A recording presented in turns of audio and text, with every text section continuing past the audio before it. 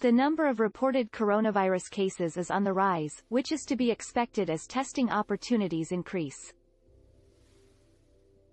In turn, millions of people find themselves working from home, some of them for the first time. As a result, some folks have started posting photos of their makeshift work from home offices.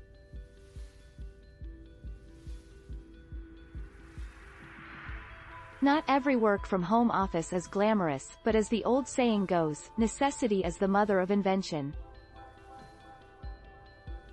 Many states like New York and Illinois have enacted stay-at-home orders that may persist well into April.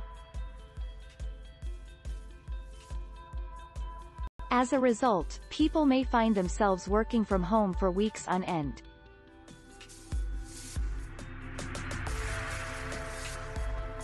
In the tech world, people love showing off their work from home setups.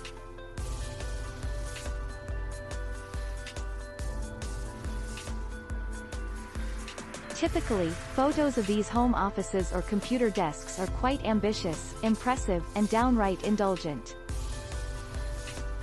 We're talking two monitors, expensive chairs, sleek-looking desks, LED lights, and all sorts of cool contraptions and elegant decor. Not everyone, though, has a home office setup worthy of being posted on Instagram. Thanks for watching. Please like and subscribe.